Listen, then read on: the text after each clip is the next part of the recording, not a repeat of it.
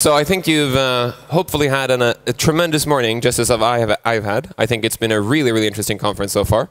And I've been also really happy that some of the keynotes, or both of the big keynotes, have actually touched on the subjects of, of uh, the speech we're going to have here today, and the discussion we're going to have here today. So um, I'm, I'm from TAT. Uh, Research in Motion acquired us in December last year. And the reason we joined Research in Motion was fairly clear. And that was it was there was an interesting proposal from RIM that they said we're the only company who's about efficiency, saving people's time so that they can spend more time with people they actually know and their friends. And that find, felt like a very interesting proposition in a world where people just spend more and more time with technology and less time with each other. So we felt it was a very interesting very interesting proposition to be part of. And when I was asked to curate this session, I thought, what, what, what would I talk about? What would be an interesting discussion to have? So I remember that discussion we had in December, saying, hey, that's interesting.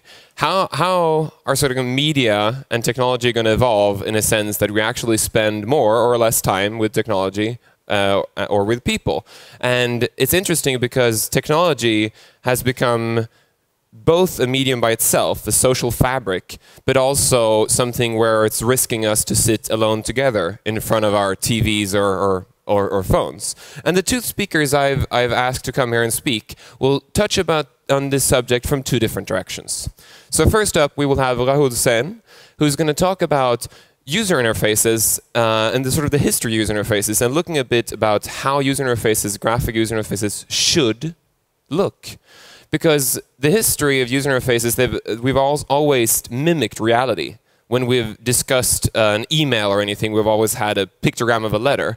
Uh, but there's been a new wave recently, if you looked at, for example, the user interfaces of Microsoft phones, where Microsoft uses a design where they don't sort of depict reality. They use something new.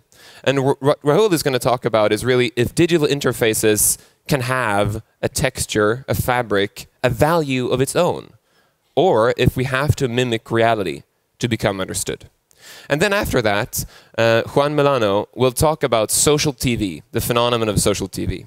You remember when you went to school uh, and you started talking to, to other people in, in your class about uh, the, the movie last night or, or whatever TV series was on, was on, depending on your age. Either it was Dallas or it was something else if, you if you were younger.